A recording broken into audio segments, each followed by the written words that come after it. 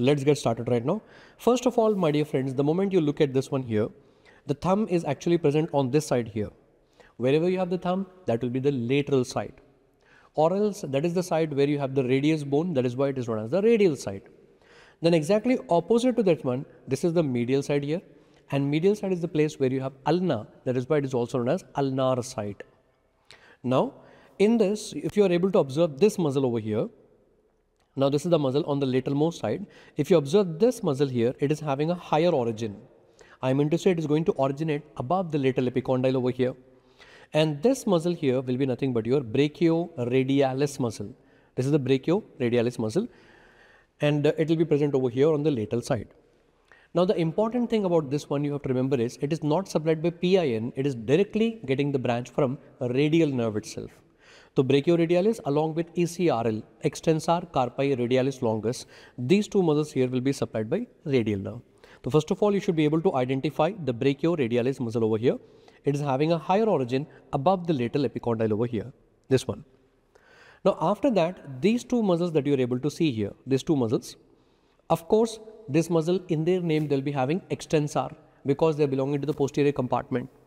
And now, if you follow this muscles over here, follow this muscle here, follow this tendon here, the tendon is actually going and getting inserted. These two tendons are getting inserted onto the base of the metacarpal here.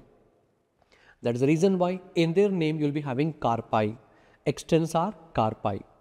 And that is present towards which side? Of course, towards the radius side. That is why radialis. Extensor carpi radialis. Now, out of these two muscles, these two muscles are nothing but extensor carpi radialis muscle. Now, out of these two muscles, the muscle present on the outer side here is more longer compared to the muscle on the medial side. That is the reason why the muscle on the outer side is known as extensor carpi radialis longus muscle. And the one towards the medial side here, this one will be the extensor carpi radialis brevis. You know the meaning very well. Brevis means short longus means long. So this one is ECRL muscle and this one will be the ECRB muscle. These two muscles are very much important. The two tendons which are coming here, please observe them very much carefully here my dear friend. Later on when I am going to tell you about anatomical snuff box, it is going to play a very very major role. Now this muscle here you can clearly see here, it will be actually having like four tendons here. And all these four tendons are going into the four digits here. And when they are going to contract, it is going to help in extension of the digit. It is going to help in extension of the digits. That is why it is known as extensor digitorum muscle.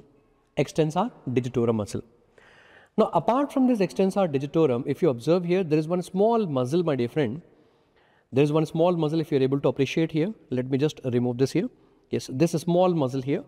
And this muscle, if you see the tendon, it is actually going towards the index finger. Again the same thing, it is also present in which compartment? Posterior compartment. That is why extensor. And this muscle is actually the one which is going towards your index finger. Index finger, that is why it is known as extensor indicis. Extensor indicis, to extend the index finger. Now similarly, you also have one small muscle here, this one which is separated apart. And you can see this muscle, the tendon is actually going towards the little finger and that is the reason why it is known as extensor digiti minimi. Extensor digiti minimi. Now you try to learn these three muscles together. First of all, you have one big muscle here which is helping in extending all the four digits, extensor digitorum. Then there is a muscle helping in extending the index finger only, extensor indicis and then the extensor digiti minimi. In this manner, you can easily remember these three muscles. Just make the sign like this here. Done? Now, once you have identified this, the last and final one towards the medial side over here, of course, that one will be extensor again. And this muscle is again going and inserting here onto the metacarpal. That is why carpi, extensor carpi ulnaris muscle. So, this muscle over here will be the extensor carpi ulnaris muscle. Perfect. So, in this manner, we are able to identify all the muscles present in the posterior compartment.